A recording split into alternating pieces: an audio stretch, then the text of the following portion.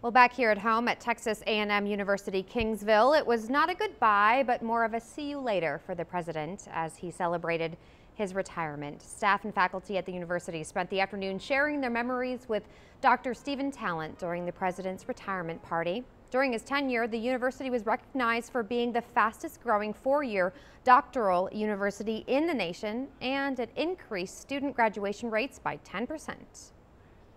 Well, it's bittersweet. This has been uh, the best and most productive 10 years of my life. I feel blessed for uh, being able to uh, come and serve this university and live in South Texas. Uh, uh, at the same time, uh, it's, it's, it's sad because I'm going to be leaving this, but as I told everybody, life is about moving forward.